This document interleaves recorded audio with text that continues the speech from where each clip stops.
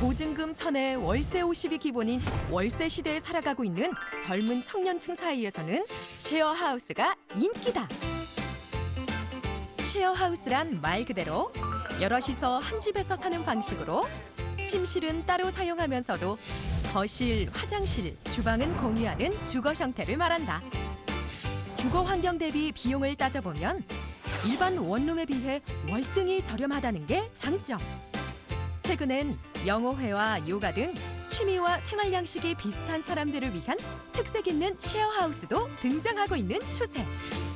사회초년생 김유미 씨 또한 비싼 월세 부담과 혼자 사는 외로움을 덜어내기 위해 새 보금자리로 쉐어하우스를 택했다는데 다른 사람들이랑 공감대 형성할 수 있는 부분들도 많고 무엇보단 금전적으로 좀 절약할 수 있으니까 좋은 것 같아요.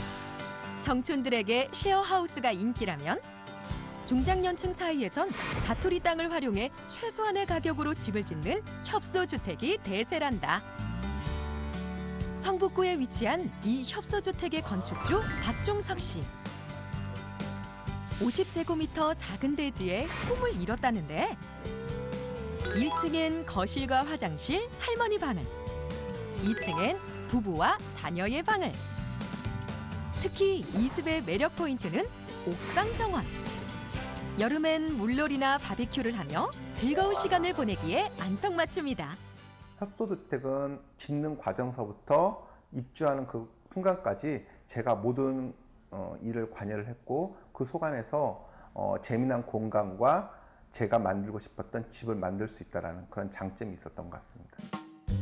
자연과 어우러진 전원에서의 생활 또한 많은 이들의 로망.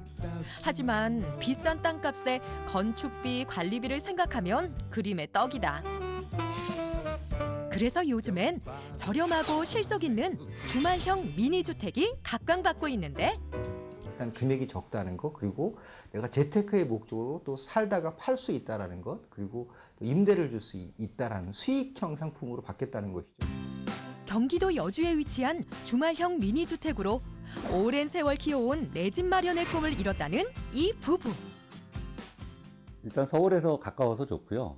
그 주말에 이제 가육도라고 내려와서 어, 고기도 꼬 먹고 뭐 여러 가지 여가 생활도 같이 할 수 있다는 부분이 굉장히 좋은 것 같습니다. 작지만 갖출 건 다 갖췄다. 아늑한 거실과 작은 방은 물론 깔끔한 화장실과 주방까지. 4인 가족이 하루 이틀 묵기엔 부족함이 없다. 넓은 앞마당에선 꽃을 심거나 밭을 가꾸는 등 전원 생활의 즐거움을 누릴 수 있고 도시의 복잡한 일상을 벗어던지고 시간이 멈춘 듯한 여유를 누릴 수 있다는 것이 주말형 미니주택의 매력.